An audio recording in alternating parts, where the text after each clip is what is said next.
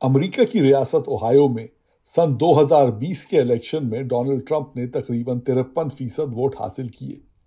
اس ریاست کی تقریباً ایک فیصد آبادی مسلمانوں پر مشتمل ہے۔ Doctor Ehsan ul-Haq Islamic society of Akron and Kent کے صدر رہ چکے ہیں۔ ان کا کہنا ہے کہ ووٹ نہ ڈالنے والے مسلمانوں میں سے کچھ مسلمان تو ایسے ہیں جو اپنے ووٹ کی اہمیت کو ہی نہیں جانتے۔ اور بہت سے ایسے ممالک سے آتے ہیں جہاں جمہوری روایات اور ووٹ ڈالنے کا کلچر ہی نہیں تھا۔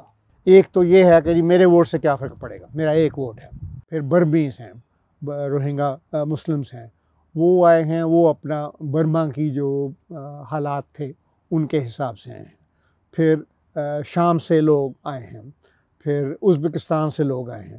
تو وہاں پہ کوئی سیاسی ماحول نہیں ہے جہاں پہ لوگ ووٹ ڈالتے، جہاں پہ لوگ سیاسی طور پہ کام کرتے، جہاں پہ سیاسی جماعتیں ہوتی آئی ایس پی یو کے سروے سے یہ بھی معلوم ہوا کہ ووٹ نہ ڈالنے والے مسلمانوں میں سے بہت سے ایسے ہیں جنہیں کوئی بھی امیدوار پسند نہیں آتا۔ وہ یہ بھی کہتے ہیں کہ سارے بدماش ہیں، سارے چور ہیں، سارے ہم، میں ان کو پیسہ نہیں دینا چاہتا۔ وہ، ان کچھ لوگوں کو یہ بھی ہے، کچھ مولوی آنا بھی ہے کہ اسلام میں کہا ہے کہ یہ غیر اسلامی حکومت ہے، تم اس میں کیوں شامل ہو رہا کچھ لوگ اس طرف سے بھی آتے ہیں۔ ان کی رائے میں مسلمان تارکین وطن میں اکثر کہ ووٹ نہ ڈالنے کی ایک وجہ خوف بھی ہے۔